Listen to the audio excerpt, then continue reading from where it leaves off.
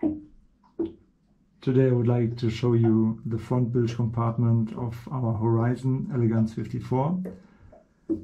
Here you can see the bow thruster engine.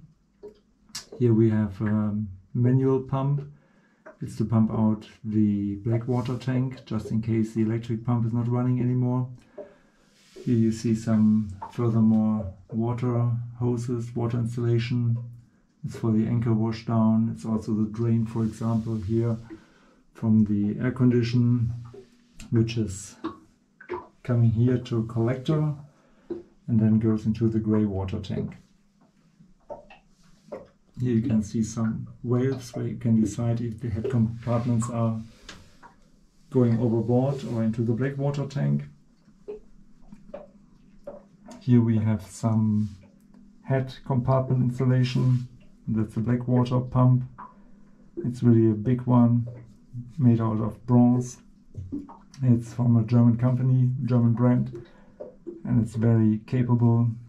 Here you have some more valves to decide if this head compartment is going to the black water tank or outside.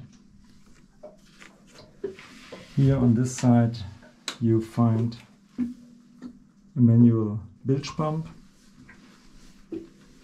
Here's the guest head compartment or guest head pump. Uh, you see everything is pretty good labeled so that you know where every hose is going to. Also in which direction the valve is. Actually it's to holding tank. If you push it backwards it would go outside so now I have to turn myself, which is pretty hard. Down there you see the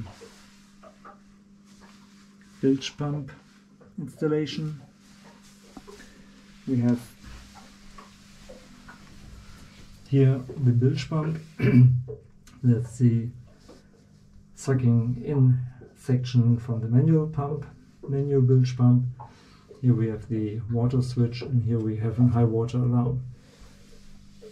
This would be the holding tank, the black water tank with a capacity of 227 liters.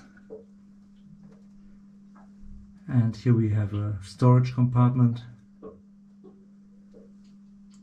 Here lives our Raymarine fluxgate compass and also this boat is equipped with a fire alarm system.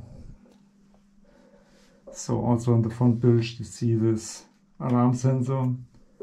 So just in case we have fire or smoke here, it detects and gives an alarm, which is in fact a very good thing as you have electricity here an electric motor. So this was a short overview of the front bilge compartment. Thank you.